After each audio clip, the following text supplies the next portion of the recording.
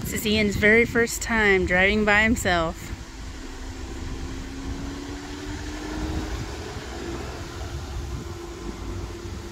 He's super nervous, even though he shouldn't be because he's a pretty good driver.